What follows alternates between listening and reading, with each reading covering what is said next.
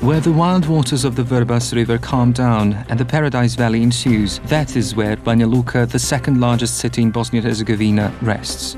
Banja Luka is an administrative, financial, university and cultural center with a population of almost 200,000 inhabitants. Processing industry is the predominant branch of industry and some of the main economic sectors are trade and construction. Hydro potential of Vrbas River is also noteworthy, foremost as an important electrical energy resource, but also as a resource suitable for development of tourism. Size of the labor force is almost 79,000 people. Low level of economic activity has been the cause of a fairly high unemployment rate, which despite all difficulties, remains below the average rate. Among those seeking employment, there is almost 9,000 women, and only 3% of them fall into the category of unskilled workforce.